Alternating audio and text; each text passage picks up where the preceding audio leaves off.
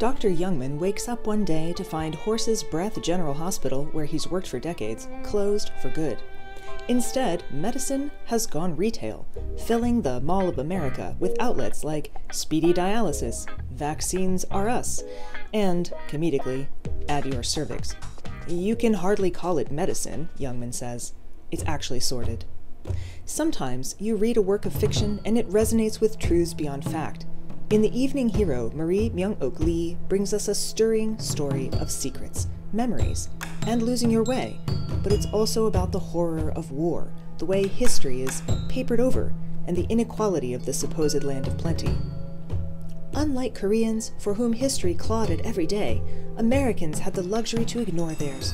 How wonderful to be always striding forward, behemoth country that they were. Myung Ok Lee's critique of American for profit medicine is clear. It's something she's written about passionately as a journalist, too. Ultimately, this book is about war and consequence, the battles fought inside as well as those fought outside. It's also, however, deeply invested in social justice, for medicine, for all people.